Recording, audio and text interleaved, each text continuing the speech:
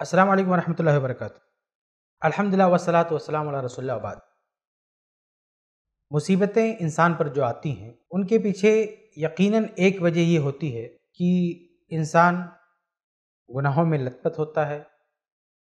ये मुसीबतें उसके गुनाहों की पादाश में आती हैं। इस बात में कोई शक नहीं है कि कभी कभी अल्लाह रब्बुल इसी दुनिया में गिरफ्त करता है और एक गुनाहगार शख्स को बहुत सारी परेशानियों का सामना करना पड़ता है। और अल्लाह का अजाब भी उस पर मसलत होता है। लेकिन इसका ये माना नहीं है कि हम किसी भी मुसीबत ज़दा शख्स को देखें और देखते ही ये हुक्म लगा दें कि यह आदमी बहुत पापी होगा, बहुत गुनहगार होगा, इसलिए इस पर अल्लाह की तरफ़ से मुसीबतें आ रही आज हमारे बीच कई ऐसे लोग, बल्कि बाज़ खुतबा, बाज़ मुकर्रीन हैं, जो लोगों से कहते हुए नज़र आते हैं कि फ़ला शख्स इस मुसीबत में इसलिए पड़ा क्योंकि उसने ये गुनाह किया। उस पर इतनी बलाएँ आईं, वो इतनी बड़ी बड़ी बीमारियों में मुबतला हुआ, उसकी वजह यह है कि वो गुनहगार है। अमूमी तौर पर अगर ये बात कही जाए कि अल्लाह तबारक व ताली गुनाहों की पादाश में ऐसी मुसीबतें नाजिल करता है तो इसमें कोई हरज की बात नहीं। लेकिन ख़ास किसी शख्स को मुंतखब करके, उसकी तयन करके, उसको मेंशन करके ये कहा जाए कि इस पर जो मुसीबत आई है, इस पर जो बीमारी आई है, ये इसके गुनाहों का नतीजा है। तो मेरे भाइयों, ये ठीक नहीं। आज आप जानते हैं, ख़ास तौर से बीमारियाँ आम हैं। और आखिरी उम्र को पहुँचते पहुँचते बहुत सारे लोग बीमारियों में मुबतला होते हैं, बल्कि बहुत अच्छे खासे लोग बड़े बड़े उलमा, ख़तरनाक बीमारियों में मुबतला हो जाते हैं। जैसे कैंसर, ये आजकल बड़ी आम बीमारी हो चुकी है। बहुत सारे अहल इल्म को आप देखेंगे कि वो आखिरी उम्र को पहुँचते पहुँचते कैंसर में मुबतला हो गए। और बड़ी बड़ी बीमारियाँ हैं, हार्ट की बीमारी है, गुर्दे की बीमारी है, वगैरह वगैरह। ये बीमारियाँ बहुत आम होती जा रही हैं। और बहुत सारे लोग इसके शिकार होते जा रहे हैं। चाहे वो उलमा हो, चाहे वो नेक हो, नमाजी हो, परहेजगार हो गुनगार हो, सब इन बीमारियों के शिकार होते हैं। अब ऐसे में किसी भी शख्स को, चाहे वो अच्छा हो या बुरा, हम ये नहीं कहते किसी आलिम को कैंसर हो जाए, किसी आलिम को कोई बीमारी हो जाए तो आप उसको, उसके गुनाह की सज़ा ना बताएँ। सिर्फ़ उनकी बात नहीं हो रही एक आम शख्स भी किसी बीमारी में मुबतला हुआ तो किसी को यह हक नहीं है कि उस पर हुक्म लगा दे, फैसला कर दे कि अल्लाह ताला ने इसको अजाब दिया। अल्लाह के बंदे तुमको किसने बताया कि अल्लाह ताला ने इसको अजाब दिया? क्योंकि मुसीबतों के नजूल की एक वाहिद वजह, सजा ही नहीं है अल्लाह का अजाब ही नहीं, बल्कि कभी कभी अल्लाह ताला आजमाता है। और अल्लाह रब्बुल आलमीन अपने नेक बंदे पर भी मुसीबतें नाजिल करता है, ताकि इसके ज़रिए उसके गुनाह मिट जाएँ। और अगर गुनाह ना भी हो तो उसके दर्जात बुलंद हो जाएँ। तो इन असबाब की बिना पर भी अल्लाह ताला मुसीबतें नाजिल करता है, बीमारियाँ नाजिल करता है। अल्लाह ताला ने खुद कुरान में कहा, वलनबलुवन्नकुम बिशैइन मिनल खौफ वल जू। व नक्सिमिल अमवाल वल अनफुसी वमरात व कि हम तुम्हें आजमाएँगे, ये खिताब साहब कराम से है। साहब कराम जैसा कौन हो सकता आज? हमारा उनका कोई मुकाबला ही नहीं है।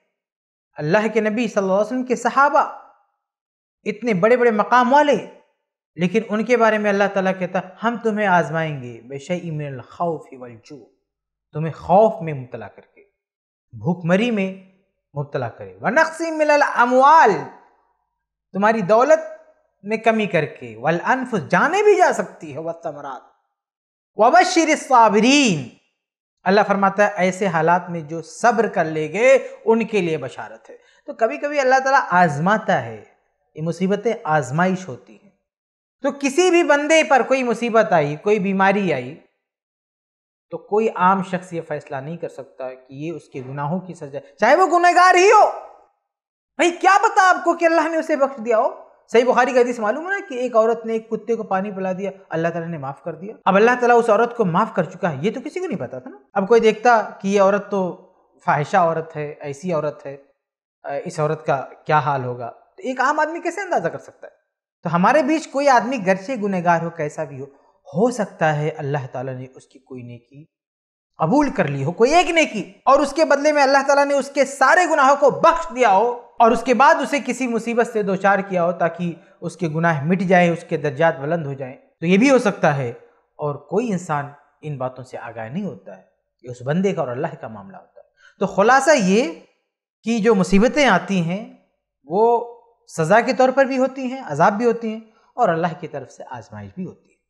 इसलिए अगर हम किसी, ख़ास तौर से किसी मुसलमान, अल्लाह के बंदे के बारे में देखें कि वो किसी मुसीबत में मुबतला है, जैसे बीमारी है तो ये देखकर हमको ये नहीं कहना चाहिए कि वो बहुत पापी था, बुरा था, इसलिए उसके साथ ऐसा हो रहा नहीं। ऐसा नहीं कहना चाहिए। चाहे वाक़ता उसने बहुत बड़ा गुनाह किया हो।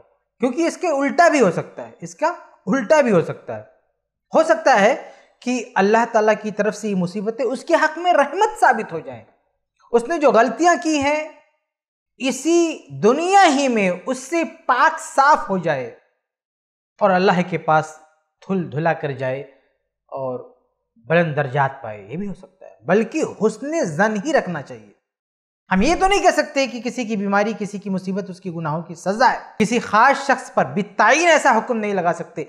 लेकिन किसी खास शख्स के बारे में हुस्न जन कर सकते हैं। अल्लाह ताला ने हुस्न जन से नहीं रोका, बदगुमानी से रोका।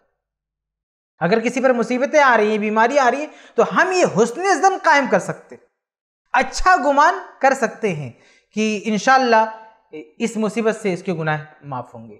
इन ये मुसीबतें इसके लिए रफ़े दर्जात होंगे। तो अच्छा गुमान कर सकते हैं अच्छा सोच सकते हैं। अल्लाह ताला ने इससे नहीं रोका, बल्कि इसकी हौसला अफजाई की गई है कि अच्छा गुमान रखना चाहिए।